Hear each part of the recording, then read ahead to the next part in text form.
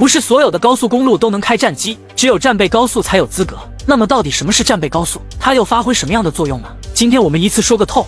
简单来讲，战备高速就是一种可以在紧急军事需求下快速转换为战场或支援区域的道路网络。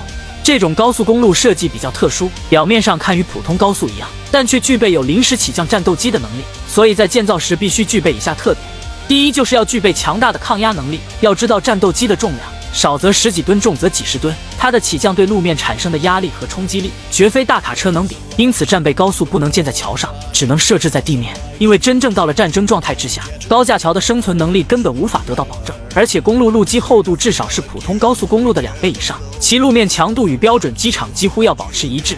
第二就是要足够宽。以我国歼十六战斗机为例，该机的翼展长度大约为十五米，而我国单向三车道的标准宽度为三点七五米，总宽度才是十一点二五米，是完全不符合战备高速的要求。而要想达到战备高速的门槛，那么最低都是单向五到六车道的设计，这样能够初步满足我国战机的临时起降。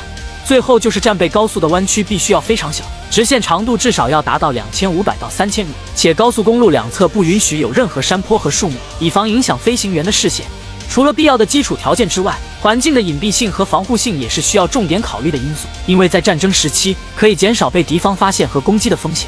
值得注意的就是，战备高速不仅仅是专门为战机提供临时跑道的地方，同时战备高速还将具备多功能的能力。因为战备高速在本质上依旧是以运输为主，一旦我国某地出现重大自然灾害，战备高速就需要承担军事运输、救援和抢险的战备功能。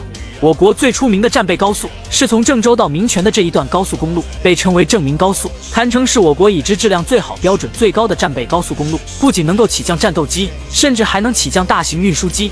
该高速公路笔直宽阔，坚如磐石，就连服务站也非同小可，简直就是一个浓缩版的军用机场。一营后勤设施齐全，服务区的停车场还能停放二十架战机。截止到目前，我国已经建成了至少十条战备公路，其中大部分集中在山东。河南和辽宁这三个省份，其中山东省的战备公路最多。